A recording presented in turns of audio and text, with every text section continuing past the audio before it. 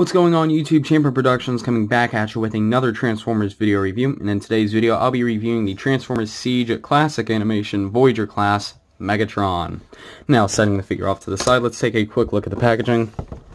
Packaging is done very nicely. Got Transformers, more than meets the eye. We got the 35th, lo uh, 35th logo number right there. Um, 1984 to 2019. Uh, Transformers, War for Cybertron Trilogy, Siege. 1984 Special Edition Transformers Generations Takara Tomy. On the top of the box here we got a Decepticon symbol and the Transformers uh, Siege logo. Coming around to the bottom we just got warnings and stuff. Coming around to the other side of the box we have a very nice picture of Megatron in his robot mode. Um, that looks really cool. I really do like that. I, I like that a lot. I think that looks really cool. Coming around to the back of the box here, we have a picture of Megatron in his robot mode, in his vehicle mode, and uh, just gives some statements, classic animation Megatron, function Decepticon leader, and it says a transforms in 17 steps. And then we've got the 35th anniversary logo right there. So, setting the camera back down, that's it for the packaging. Uh, now, he does come with a couple of accessories. He comes with his, and I'll get into this later in the transformation, but he comes with his fusion cannon, which is this section of the tank right here, and then he comes with a sword, which is this section of the tank right here, and then he comes with his instruction booklet, which is done in gray, light gray, and purple. Then he comes with a, a warning sheet, just choking hazard, small parts. Um, I don't know if this is becoming standard with all Siege figures or not, but we will see as the line progresses. And here is Megatron in his tank mode, and I really do like this tank mode. I like this figure in general. It's a nice, nice figure. I really do like it. Looks really good. Um, it is a nice, beefy H-Tank. Um, name H-Tank given to it by its H-like design. Um, yeah, a very good-looking tank mode. I really do like it. It's nice, big, and beefy, as a tank should be. Um, coming in to take a closer look at the details, we have some cel shading as this is the classic animation Megatron it's trying to capture that cartoon-esque feel to the figure. And this figure does do it exceptionally well. I really do like this. Now, I was never able to get the original Siege Megatron. Um, I was never able to get that original figure. So, um, I'm very glad to have this figure um, in place of that figure, in place of the original Siege Megatron. Um, he does have some articulation in this mode. He does make sure my camera's focused. Okay, we're good. The turret does rotate a full 360, which is very, very nice. I really do like that. Um, and yeah, again, a lot of nice molded in detail and whatnot in it. Um, got some what appear to be headlights. I, I don't know. Get some more um, detail in there. Um, on the front here, it looks like we got some treads and some exhaust on the side. Some more of that cel shading and whatnot. Um, if we come around to the back here, it looks like we have exhaust ports for, I guess, where the engine would be. Um, yeah, just a very good looking tank mode in general. I really do like it. Now, for size comparison, let's bring in the Siege Optimus Prime. This is the classic animation model as well. Um, and as you can see, I think these I think these two scale alright. Um, I don't think a truck is that big compared to that H-Tank. I could be wrong. They do look good together. Um, I'm not gonna lie. I, I kind of like how these two look side by side. Um, because Optimus is a smaller, a little bit slimmer in truck mode, and Megatron is a big, beefy tank. And I think they just look good together sending Optimus off to the side. Let's go ahead and bring in the Loyal Soundwave. This is the Siege Siege uh, Voyager class Soundwave figure, and as you can see, I I I personally don't think these two look too terribly great together in terms of size and scaling because this is supposed to be an air-based vehicle, but um, that's just me. But you can get a sense of scale there, how they look. And yeah, so, moving on to the transformation, it's actually pretty fun and really enjoyable. I, I, I, like his transformation. To start off with, we're going to take the front of the tank barrel, remove it, and this will be a sword as I mentioned earlier. Um, we're just going to take these two side pieces here and un, un, untab them, and then rotate them down, and then this peg here will tab into this slot right there. So, these will just tab in, Make sure the front sections tab into place. And here we have Megatron's sword. And if you want to, if you really, really want to,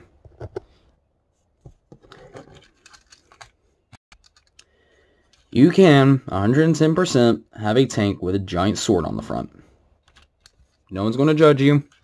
You can do that if you want. But moving back to the uh, moving back to the base figure, this is what he looks like without the barrel. Um, but as I said, the transformation is quite enjoyable. We're going to start back here at the back of the tank, and we're going to untab these sections right here. These will form his legs in robot mode. Come around to the other side of the tank, and there's Megatron right there.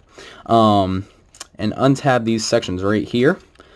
Um, after you do that, that will free this hinge right here, and I'll show you. This section right here will hinge down and swivel around just like so, and then you can bring this whole section out and fold that panel back up. So do that on this side as well. Fold that up. Then we can take the feet and fold them forward and fold out the heels. They will tab, they will just sort of, um, they will lock into place. Um, the heels will lock into place at the back. Um, coming around to the front of the tank now, we're just going to take this whole section here and move it forward. Um, it is rather difficult to untab. There we go. And we're just going to bring this whole section forward. Then what we're going to do from there is come around, come around to the back of tank here and untab it just like so. Now, what's cool about the transformation is that Megatron's fusion cannon in robot mode is removable, but you don't have to remove it for the transformation, which is really nice in my opinion. Um, then we're going to tab these arms into place here. Well, not tab them in all the way. It's just a matter of getting clearance just like that. Uh, just move this whole section down. And then we can pull Megatron's head out just like so. And then we're going to take the come to the back section here. Well, for clearance reasons, we're going to go ahead and tab in the arms just like so. Then what we're going to do is take this section here, fold it down, and get it past the tank sec uh, tank tread sections here. And then there are there's a tab right there and a tab hole right there, and we're just going to simply tab that into place just like so. And that will form a little backpack. then um, for the final few bits of the transformation, we're going to rotate his waist around just like so and make sure this whole this whole section will it's kind of tricky to get everything right but you got to bring it back and it will rest flush just like so. You'll know. Um, you'll know when you have it all set together right. Then we can go ahead and fold out his hands just like so. We can rotate his fusion cannon around and then take these sections here and fold them down on the shoulders just like so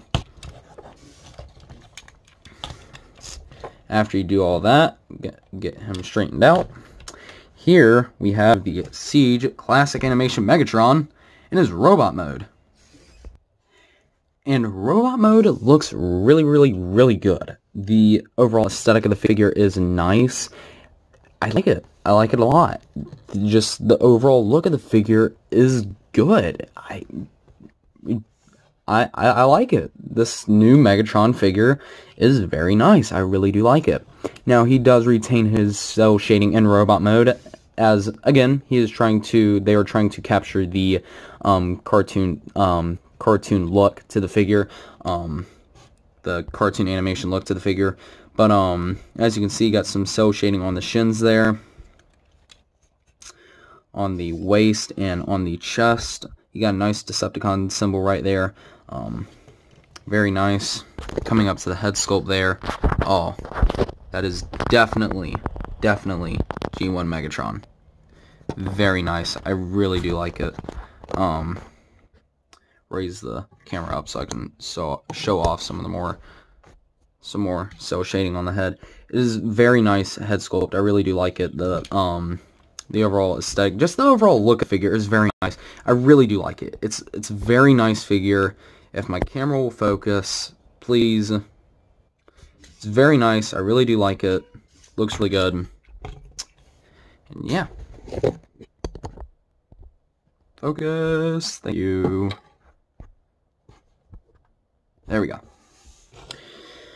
So yeah, articulation for the figure is also really good. Head is on a ball joint, although one thing I really don't like is that the there this section here, there's nothing it for it to tab into. Um, just nothing really. It just sort of frictions into place. But the head is on a ball joint, so you can get him looking left to right.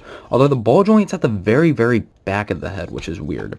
He can look up. He can look up a fair distance, but he can't really look down all that much. Although, he can look down. Um, there is a 360 swivel at the shoulder. Shoulder goes outwards. You get a bicep swivel on this arm. It's kind of limited due to the fusion cannon, but the fusion cannon does rotate around. No wrist swivel, unfortunately. Um, on this arm, you do get a 360 rotation, and he does have a port. So depending on which arm you want your fusion cannon on, you can have it on this arm or this arm. It doesn't really matter. He does have a waist rotation, um, full 360 waist rotation. So there is that make sure that back section's tabbed into place. Um, he does have a hinge at the uh, hinge at the hips, which allow him to kick forward and backwards. He does have a swivel at the thigh, full 360 swivel. Um, he does have a bend at the knee and a ankle tilt, which is very nice. So very uh, a, a, good amount of articulation, very very well done very well articulated, looks really good, so you can get him in some real menacing poses, as Megatron should be. Um, because, I mean, you know, he's just the leader of the Decepticons, menacing, you know, just evil. He's Megatron. He's evil. That's, that's all there is to it. End of story. Okay? Anyway, bringing the classic animation Optimus into view for comparison, these two, I think, look really good together. I really do like these two side by side. I think they look really nice. Um, they just look good together. Um, as you can see, they are roughly about the same height, being Voyager, um, which is which is how they should be. In my opinion, Megatron should be just a tad bit taller than Optimus. Um, that's that's just my opinion. Um, so. And let's bring in the his loyalist Soundwave. So here he is. Um, most loyal Soundwave. um, now these two I think look good together. Um, because Megatron should be taller than any other of the Decepticons. So um, I, I think these two look good. I, I think they scale well. Um, because you know I feel like Me I feel like Megatron should rightfully be with Megatron being the leader of the Decepticons. He should rightfully be taller than all the other Decepticons. That's just that's all there is to it, in my opinion. so there is that. Um, you can, if you want to, transform his sword and put it back into its tank mode configuration and plug it into his back if you really want to have that gun, that gun barrel look that he had in the 1980s. You can do that. Or if this becomes too much of an issue for you, these sword blades, you can remove those um, altogether. So uh, it, it's possible if you want to do it. I'm not going to do it on camera because it takes a little bit of fiddling. And they're on, they're on mushroom pegs, so you can do that. You can also hold his sword, and he looks pretty cool with it. Um, so yeah. Uh, an amazing figure. I'm really impressed. I really like this figure. He looks really good. Um, he's got a, a tremendous amount of articulation, everything you need to pull him off into some, or to pull off some more menacing poses as Megatron should be posed. Because, like I said, he's the leader of the Decepticons. He's got to look menacing. So, um, yeah. That's, that's all there is for this video. Well guys, that's all for this video. I hope you all enjoyed. If so, be sure to click like, comment what you think of Megatron in the comment section below, and be sure to subscribe and hit that notification bell so you never miss a video from my channel. That's all from me, Champion Productions, signing off.